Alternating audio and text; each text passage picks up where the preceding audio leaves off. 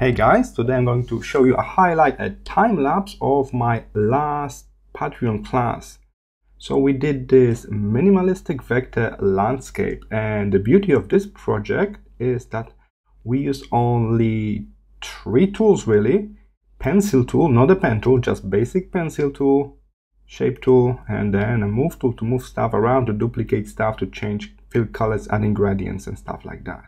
So it's a really accessible project and it can be done even if you've got zero experience with Affinity Designer. So you can do it with somebody, your family member, a friend that just get Affinity Designer or just get a trial version for the iPad, whatever. And you can have this nice minimalistic piece of art in like around 40 minutes. It took us 40 minutes.